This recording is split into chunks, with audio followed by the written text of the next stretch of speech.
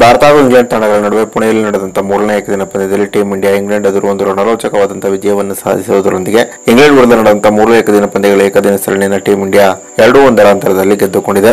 ಅತ್ಯಂತ ರಣರೋಚಕದಿಂದ ಕೂಡಿದಂತಹ ಮೂರನೇ ಏಕದಿನ ಪಂದ್ಯದಲ್ಲಿ ಟೀಂ ಇಂಡಿಯಾ ಯಾವ ರೀತಿಯಾದಂತಹ ಪ್ರದರ್ಶನವನ್ನು ತೋರಿತು, ಅದರಲ್ಲೂ ಭಾರತ ಹಾಗೂ ಇಂಗ್ಲೆಂಡ್ ತಂಡಗಳ ನಡುವೆ ನಡೆದಂತಹ ಮೂರನೇ ಏಕದಿನ ಪಂದ್ಯದ ಕಡೆಯ ಮೂರು ಓವರ್ಗಳು ಎಷ್ಟು ರಣರೋಚಕವಾಗಿದ್ದವು ಎಂಬುದರ ಕಂಪ್ಲೀಟ್ ಡೀಟೇಲ್ಸ್ ಅನ್ನ ಈ ವಿಡಿಯೋದಲ್ಲಿ ನಾವು ನಿಮ್ಮ ಜೊತೆ ಶೇರ್ ಮಾಡಲಿದ್ದೇವೆ. ಈ ಸುದ್ದಿಯ ಡೀಟೇಲ್ಸ್ ಅನ್ನ ಕೊಡುವುದಕ್ಕಿಂತ ಮುಂಚೆ ಏಪ್ರಿಲ್ ಒಂಬತ್ತರಿಂದ ಆರಂಭಗೊಳ್ಳಲಿರುವಂತಹ ಐಪಿಎಲ್ ಸೀಸನ್ ಹದಿನಾಲ್ಕರಲ್ಲಾದರೂ ಆರ್ಸಿಬಿ ಐಪಿಎಲ್ ಟ್ರೋಫಿಯನ್ನು ಎತ್ತಿ ಹಿಡಿಯುತ್ತದೆ ಅಂತ ನಿಮಗೆ ಅನಿಸಿದರೆ ಈ ವಿಡಿಯೋಕ್ಕೊಂದು ಲೈಕ್ ಮಾಡಿ. ಹಾಗೆಯೇ ಐಪಿಎಲ್ ಸೀಸನ್ ಹದಿನಾಲ್ಕರಲ್ಲಿ ಆರ್ಸಿಬಿ ತಂಡದ ವಿಕೆಟ್ ಕೀಪಿಂಗ್ ಜವಾಬ್ದಾರಿಯನ್ನ ಎಬ್ ಡಿವಿಲಿಯರ್ಸ್ ಹೊರಬೇಕಾ ಅಥವಾ ಬೆಳವ ಎಂಬ ನಿಮ್ಮ ಅನಿಸಿಕೆಯನ್ನು ತಪ್ಪದೇ ಕಮೆಂಟ್ ಬಾಕ್ಸ್ ಅಲ್ಲಿ ತಿಳಿಸಿ ಕೂಡ.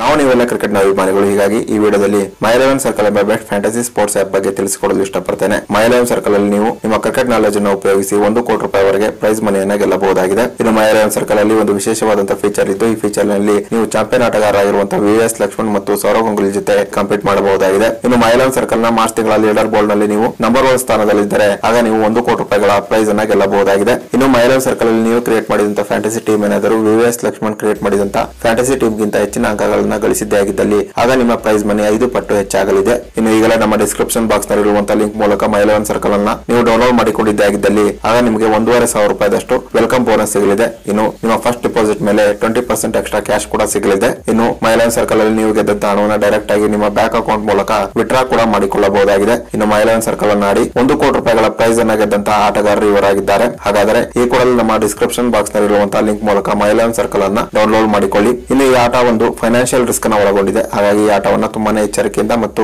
ರೆಸ್ಪಾನ್ಸಿಬಿಲಿಟಿಯಿಂದ ಆಡಿ. ಪುಣೆಯಲ್ಲಿ ನಡೆದಂತಹ ಮೂರನೇ ಏಕದಿನ ಪಂದ್ಯದಲ್ಲಿ ಟೀಂ ಇಂಡಿಯಾ ಇಂಗ್ಲೆಂಡ್ ಎದುರು ಏಳು ರನ್ಗಳ ಅಂತರದಲ್ಲಿ ರೋಚಕವಾಗಿ ವಿಜಯವನ್ನು ಸಾಧಿಸಿದೆ. ಮೂರನೇ ಏಕದಿನ ಪಂದ್ಯದಲ್ಲಿ ಮೊದಲು ಬ್ಯಾಟಿಂಗ್ ಮಾಡಿದಂತಹ ಟೀಂ ಇಂಡಿಯಾ ನಲವತ್ತೆಂಟು ಪಾಯಿಂಟ್ ಎರಡು ಓವರ್ನಲ್ಲಿ ಮುನ್ನೂರ ಇಪ್ಪತ್ತೊಂಬತ್ತು ರನ್ಗಳಿಗೆ ಆಲ್ಔಟ್ ಆಯಿತು. ಇನ್ನು ಮೂರನೇ ಏಕದಿನ ಪಂದ್ಯದಲ್ಲಿ ಮುನ್ನೂರ ಮೂವತ್ತು ರನ್ಗಳ ಗುರಿಯನ್ನು ಬೆನ್ನೆತ್ತಿದಂತೆ ಇಂಗ್ಲೆಂಡ್ ತಂಡ ಐವತ್ತು ಓವರ್ನಲ್ಲಿ ಒಂಬತ್ತು ವಿಕೆಟ್ಗಳನ್ನು ಕಳೆದುಕೊಂಡು ಮುನ್ನೂರ ಇಪ್ಪತ್ತೆರಡು ರನ್ಗಳನ್ನಷ್ಟೇ ಹೊಡೆಯಿತು. ಈ ಮೂಲಕ ಇಂಗ್ಲೆಂಡ್ ತಂಡ ಮೂರನೇ ಏಕದಿನ ಪಂದ್ಯದಲ್ಲಿ ಭಾರತದ ವಿರುದ್ಧ ಏಳು ರನ್ಗಳ ಅಂತರದಲ್ಲಿ ರಣರೋಚಕವಾದಂತಹ ಸೋಲನ್ನು ಅಪ್ಪಿತು ಅದರಲ್ಲೂ ಇಂಗ್ಲೆಂಡ್ ತಂಡಕ್ಕೆ ಕಡೆಯ ಮೂರು ಓವರ್ನಲ್ಲಿ ಗೆಲ್ಲಲು ಇಪ್ಪತ್ಮೂರು ರನ್ಗಳ ಅವಶ್ಯಕತೆ ಇತ್ತು. ಈ ಸಂದರ್ಭದಲ್ಲಿ ಇಂಗ್ಲೆಂಡ್ ತಂಡದ ಪರವಾಗಿ ಸ್ಯಾಮ್ ಕರಾನ್ ಮತ್ತು ಮಾರ್ಕೋಟ್ ಬ್ಯಾಟಿಂಗ್ ಅನ್ನು ಮಾಡುತ್ತಿದ್ದರು. ಹೀಗಾಗಿ ಇಲ್ಲಿ ಇಂಗ್ಲೆಂಡ್ ತಂಡ ಮೂರನೇ ಏಕದಿನ ಪಂದ್ಯದಲ್ಲಿ ಟೀಮ್ ಇಂಡಿಯಾದ ಎದುರು ವಿಜಯವನ್ನು ಸಾಧಿಸಬಹುದೆಂಬ ಆತಂಕ ಟೀಂ ಇಂಡಿಯಾದ ಅಭಿಮಾನಿಗಳನ್ನು ಕಾಡುತ್ತಿತ್ತು. ಇನ್ನು ಟೀಮ್ ಇಂಡಿಯಾದ ಪರವಾಗಿ ನಲವತ್ತೆಂಟನೇ ಓವರ್ನ ಬೌಲಿಂಗ್ ಮಾಡಲು ಬಂದಿದ್ದು ಭುವನೇಶ್ವರ್ ಕುಮಾರ್. ನಲವತ್ತೆಂಟನೇ ಓವರ್ನಲ್ಲಿ ಒಂದು ಉತ್ತಮವಾದಂತಹ ಬೌಲಿಂಗ್ ದಾಳಿಯನ್ನು ನಡೆಸಿದಂತಹ ಭುವನೇಶ್ವರ್ ಕುಮಾರ್ ಆ ಓವರ್ನಲ್ಲಿ ಕೇವಲ ನಾಲ್ಕು ರನ್ ಅನ್ನಷ್ಟೇ ನೀಡಿದರು. ಹೀಗಾಗಿ ಇಂಗ್ಲೆಂಡ್ ತಂಡಕ್ಕೆ ಕಡೆಯ ಎರಡು ಓವರ್ನಲ್ಲಿ ಗೆಲ್ಲಲು ಹತ್ತೊಂಬತ್ತು ರನ್ಗಳ ಅವಶ್ಯಕತೆ ಇತ್ತು. ಇನ್ನು ಟೀಮ್ ಇಂಡಿಯಾದ ಪರವಾಗಿ ನಲವತ್ತೊಂಬತ್ತನೇ ಓವರ್ನ ಬೌಲಿಂಗ್ ಮಾಡಲು ಬಂದಿದ್ದು ಹಾರ್ದಿಕ್ ಪಾಂಡ್ಯ.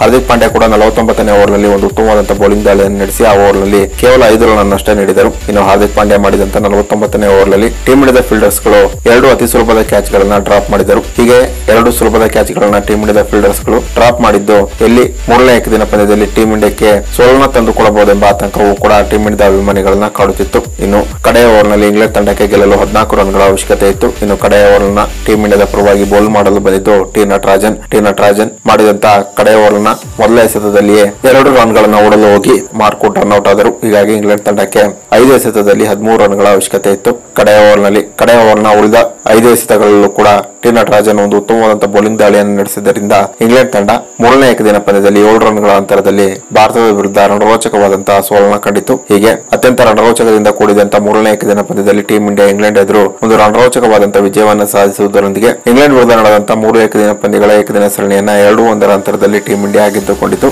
ನಿಮ್ಮ ಪ್ರಕಾರ ಮೂರನೇ ಏಕದಿನ ಪಂದ್ಯದಲ್ಲಿ ಟೀಂ ಇಂಡಿಯಾದ ಪಾಲಿಗೆ ಹೀರೋ ಆದಂತಹ ಆ ಆಟಗಾರ ಯಾರು ಎಂಬ ನಿಮ್ಮ ಅನಿಸಿಕೆಯನ್ನ ತಪ್ಪದೆ ಕಮೆಂಟ್ ಬಾಕ್ಸ್ ಅಲ್ಲಿ ತಿಳಿಸಿ. ಹಾಗೆಯೇ ಇದುವರೆಗೆ ನೀವಿನ್ನು ನಮ್ಮ ಚಾನಲ್ಗೆ ಸಬ್ಸ್ಕ್ರೈಬ್ ಆಗಿಲ್ಲ ಅಂತ ಹೇಳಿದ್ರೆ ಈ ಕೂಡಲೇ ನಮ್ಮ ಚಾನಲ್ಗೆ ಸಬ್ಸ್ಕ್ರೈಬ್ ಅನ್ನ ಕೂಡ ಆಗಿ. Thank you.